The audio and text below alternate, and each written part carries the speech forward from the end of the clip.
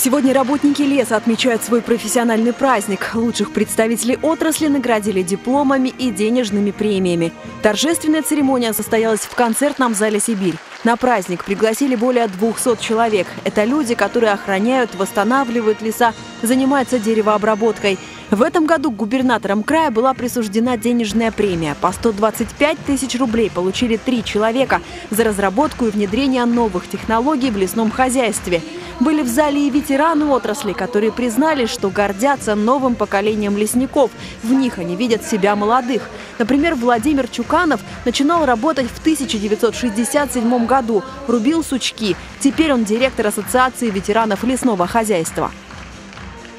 Надо работать, выполнять был план государственный, был спрос строгий, но у меня любовь к природе осталась, и лес тому порукой.